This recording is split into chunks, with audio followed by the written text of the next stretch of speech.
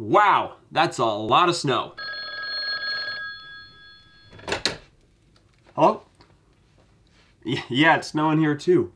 Wild. I know. I've never seen so much snow. You know, that's a great question.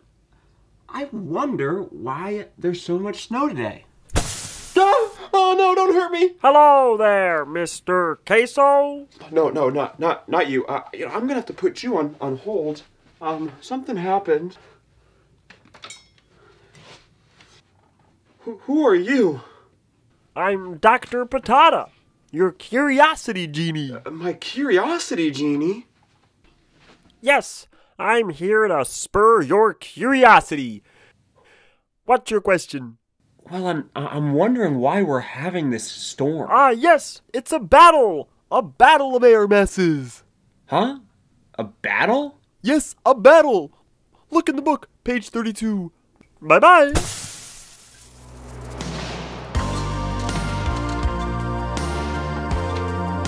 Research!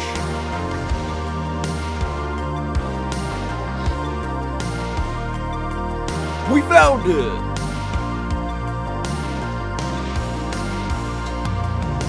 Hey, are you still there?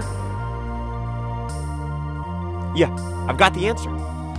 Okay, so so bad weather often occurs when two air masses collide. So here we have a warm and wet air mass that's coming from the Gulf of Mexico, and then we have a cold and dry air mass that's coming from Canada. And where these two air masses meet, we call that a front.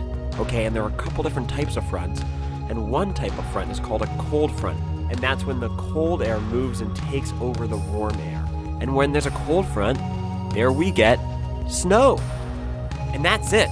Have a good day.